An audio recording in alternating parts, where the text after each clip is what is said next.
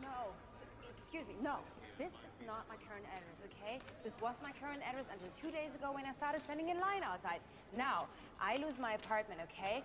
That means no address, no phone, no money, no time, and I still have no visa. Miss Kreutz, please, I'm going to have to ask you to keep your voice down. Excuse me, but I mean, but where's the guy that I talked to last week? Every week it's a new person. How am I, supposed I don't know who you saw last week.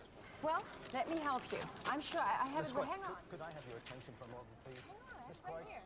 Look at it. you state you have to consider the immigration laws of the United States. This is a student visa now. It's not about a green card anymore. It's completely different. It's not a menu, Miss Kreutz. You don't just pick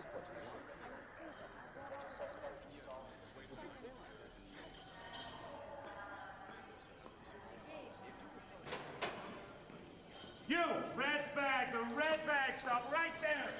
Put your hands up.